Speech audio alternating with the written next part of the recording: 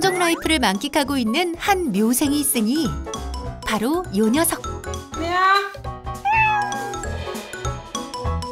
개집에서 자는 건 기본. 강아지니 고양이니 개들에 대한 거부감은 일도 없고 척하면 척 까미 엎드려. 개인기까지 선보이는 이만하면 매력 만점 개냥이 아닌가요? 헌데 도무지 멈출 줄 모르는 녀석의 호기심이 문제라면 문제. 다 터졌네. 다 터졌어. 시골 앞마당을 무대 삼아 사고를 치는 그야말로 천방지축이라는데요. 평화로운 할머니의 일상을 발칵 뒤집어 놓은 깨발랄 고양이 까미. 녀석의 천방지축 시골 life 속으로 한번 들어가 볼까요? 안녕하세요. 애들 좀 소개 좀 해주세요. 그저 저기 여기 있어요 여기 여기 여기. 저저 저, 저기 있는 게 저기 시 포리. 그다음에 여기 있는 것은 백구. 이것은 까미 그래요. 얘들이 같이 잘 붙어 있네요. 아, 양 어떻게 얘들이 친한가? 아주 잘 지내 그냥 세 마리가 그냥 엎어졌다 뒤집어졌다 그냥 그래요. 세 마리가 얼마나 친한지 어디든 함께 다니는 건 기본이고 알콩달콩 다정한 케미를 선보이며 한시도 떨어져 있지 않는 생긴 건 다르지만 자는 모습까지 닮은 삼형제라네요.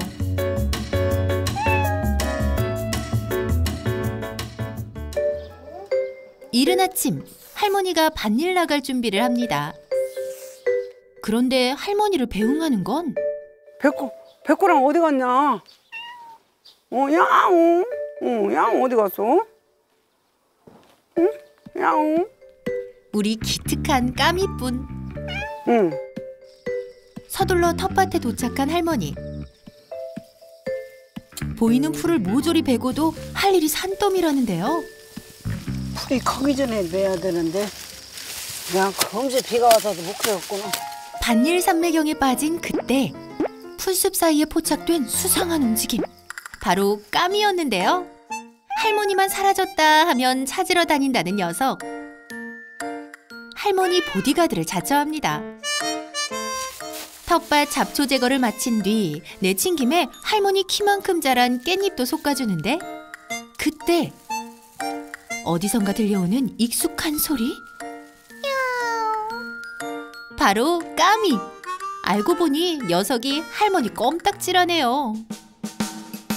할머니가 어딜 가던 늘 그곳에 까미가 있다.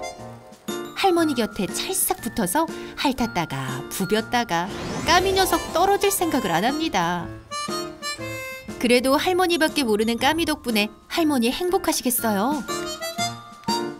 그런데 아이고, 까미가 할머니만 따라다니고 귀찮아. 언니들 따라다녀야 되는데 밭도 다 허적거려 놓고 이게 그때 미워. 밉다 구라구라구라. 사실 할머니는 까미보다 강아지들을 더 예뻐합니다.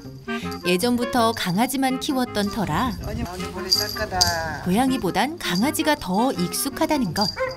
에고 이게 무슨 운명의 장난이란 말입니까?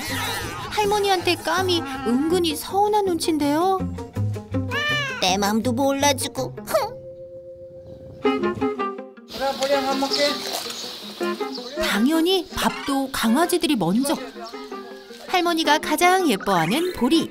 폭풍 먹방 선보이고 데리고 앉아. 데리고 앉아. 앉아. 앉아. 앉아야지. 앉아. 백구는 역시 간식까지 야무지게 챙깁니다. 보채지 않고 순서를 기다리는 까미. 짠하지만 기특하네요. 드디어 까미의 식사 시간. 허겁지겁 먹긴 하는데 뭔가 이상합니다.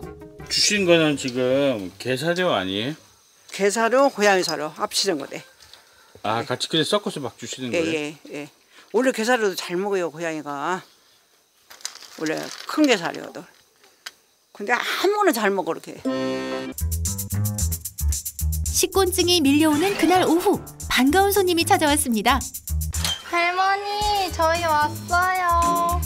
어? 왔냥? 목소리를 듣자마자 버선발로 나오는 까미.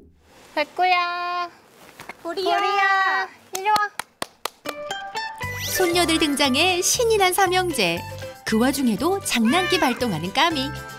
백구 너보다 내가 더 빠르다옹. 사실 까미가 이 댁의 식구가 된 건 손녀들 덕분입니다. 까미는 이제 혼자 비 오는 날에 울고 있길래 그래서 한참 지켜보다가 어미가 없길래 데리고 오게 됐어요.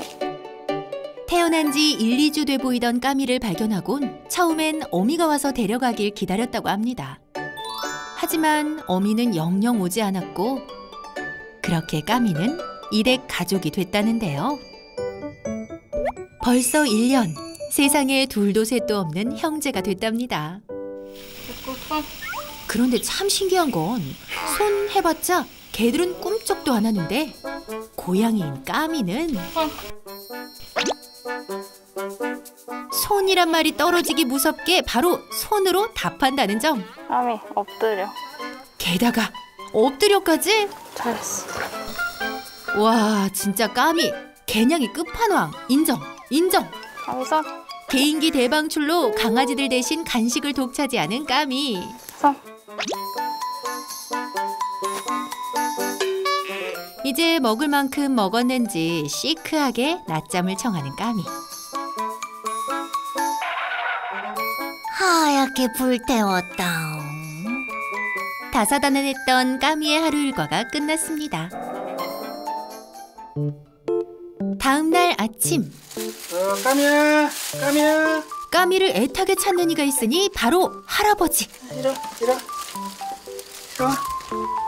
사료를 조금만 주는 할머니 대신 사실 할아버지가 늘 까미를 챙겨준다는 건 할머니한테만 비밀.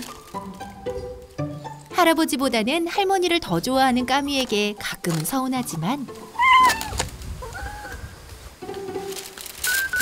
할아버지는 까미의 매력에 이미 풍덩. 까미 먹는 것만 보면 절로 기분이 좋아진대요. 그래서 내가 고기가 이제 안쓰러우니까 내가 가끔 이게 챙겨서 좀 밥도 주고 고기도 좀 주고 사료도 주고 그래요. 꽃을 따서 할아버지 까미에게 마음을 전해보는데요. 그러나 이게 뭐냥? 먹는 거냥? 아이구야 할아버지 마음을 아니 꽃을 통째로 먹어버리는 까미. 그 모습조차 할아버지 눈에는 귀엽기만 합니다. 배도 채웠겠다 산책을 나서는데 까미의 눈에 들어온 건 어? 이건 거미? 오호 이제 할머니가 바라는 사냥을 시작하는 걸까요? 두 번째로 까미의 레이더망에 딱 걸린 건 바로 개구리. 멈출 줄 모르는 호기심으로 거침없이 공격을 퍼붓더니 일단 맛부터 보는데요. 까미의 공격에 정신없이 도망가는 개구리. 그런데 어째 까미의 사냥 솜씨가 영? 두눈 멀쩡히 뜨고 바로 앞에서 놓쳐버리고 맙니다. 야 개구라 나랑 더 놀자옹. 까미를 위해 두 형님들이 나섰습니다. 목표물을 향해 거침없이 공격. 그러자 그 순간 쥐가 모습을 드러냈는데요. 도망가는 쥐를 향해 돌격하는 보리. 까미도 숨겨왔던 사냥 본능을 마음껏 표출합니다. 그런데 이건 또 무슨 시츄에이션? 지금 저희는 고양이 대신 강아지가 쥐를 잡는 현장을 보고 계십니다. 거참 신기하다 신기해. 이 댁은 개와 고양이 역할이 완전 바뀌었네요. 까미야, 할머니 말씀처럼 배불러서 사냥을 못하는 거니? 말 좀 해봐. 사실 저 쥐 너무너무 싫어해요. 오, 쥐잡았어요. 그렇지. 오메. 그런데 쥐를 까미가 잡았다고 철석같이 믿는 할머니. 까미야, 이거 잡았어? 어우, 착해라. 이거 잡았어? 어우, 착해라. 할매요, 그쥐 내가 잡았는데. 까미야, 보리랑 백구랑 시- 시원한 그늘에서 잘 놀고 있어. 이제 물 먹어야지. 할머니 말씀은 일단 잘 듣는 까미. 쥐 보고 또 놀랐다옹. 쥐 너무 싫으다옹. 그날 오후 할머니가 마을회관에 마실 간 사이 기회를 놓칠세라 슬그머니 집 안으로 들어가는 까미 겁도 없이 화분 주위를 맴돌더니 넘지 말아야 할 선을 그만 넘어버리고 말았는데요 아이고 웜에 시상이나. 고만하면 됐은께. 멈추라 안 오냐. 그것도 모자라 할머니 화분 위에서 큰일을 치르는 대범한 녀석. 지금 집중해야 된다고요. 호기심 제대로 발동한 걸까? 슬슬 주변을 살피더니. 결국 집 안으로 발을 들이고 마는데 아이고 누가 까미 좀 말려주세요 눈앞에 간식을 두고 발길이 떨어질 소냐 현란한 기술로 간식통의 뚜껑을 열더니 허겁지겁 먹어치우는데 처음부터 간식통을 노린 건지 주인 없는 집안에서 제 세상을 만난 듯 뒤지기 시작합니다. 쉬지 않고 집안을 어지럽히우는 것도 모자라 할머니가 숨겨놓은 멸치는 어떻게 찾았는지 아휴 두 손 두 발 다 들었다 한숨만 나오던 그때 까미야. 녀석 딱 걸렸습니다. 다 터졌네. 다 터졌어. 이게 다 터졌네. 까미 너 이제 큰일 났다. 너 혼나였어. 이렇게 다 터치놨어. 분위기 파악도 못하고 까미 너 지금 멸치가 들어가니?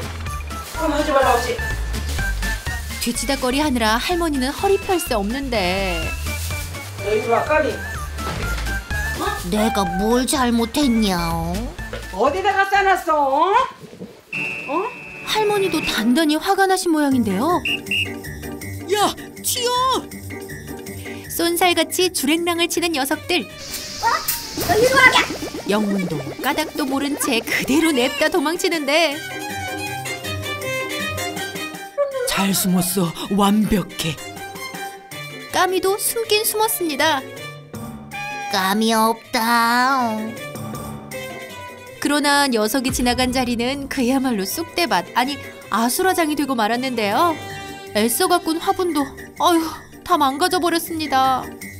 근데 여기다 싸갖고 좀 묻었어. 아, 그럼 묻어야지 싸고 놓아두면 쓰겠어. 아니 까미는 그런다니까 딴 개는 절대 딴 짐승은 못 들어내요. 그냥 싸지. 그냥 까미는 얼른 지가 싸- 이렇게 묻어요. 걸음해주고 저 가가 저 네. 잘하는구만. 먹을 자리 자르기는 아, 걸음이랑 해주잖아. 냄새가 얼마나 나는데. 천진한 까미는 그냥 졸릴 뿐입니다. 평소 개사료와 고양이 사료가 섞인 밥을 까미에게 챙겨주고 있다는 할머니. 식탐도 문제지만 개사료를 먹는 까미의 식습관 이대로 괜찮은 걸까요? 이거 같이 이렇게 주시면 네. 까미는 이게 큰일 날 수도 있어요. 원래 이제 고양이는 고양이 사료에는 타우린이라는 게 많이 들어가 있거든요. 그게 부족하면 고양이들은 뭐 눈이 멀거나 심장병이 올 수가 있어가지고 나중에 진짜로 아플 수가 있어요. 조금은 놀란 어르신들 이제 고양이 사료만 챙겨주기로 약속. 그리고 사실은 제일 좋은 거는 까미에게 제일 좋은 건 까미는 가장 안전한 이 안에 안 해. 안에서 살 수 있게 해주시는 게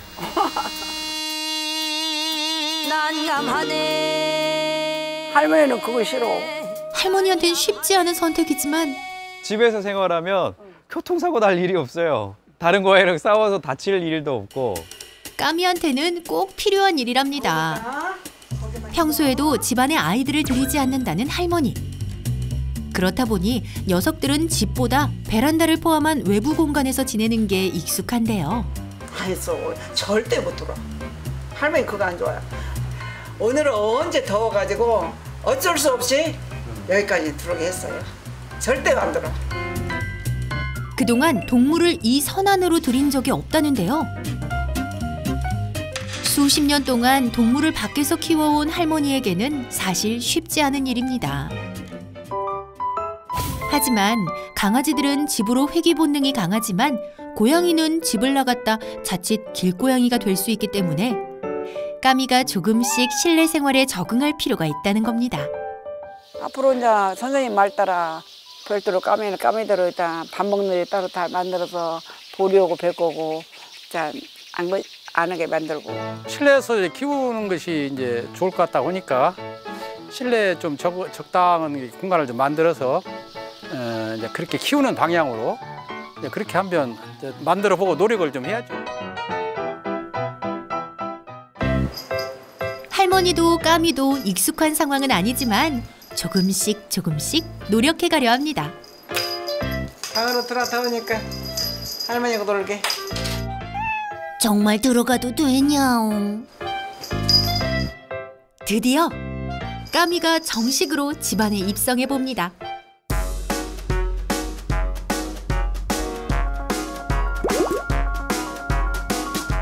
시작이 반이라고 할머니 얼굴에 웃음꽃이 피고 까미 녀석이 신난 모습을 보니 제가 다 흐뭇하네요.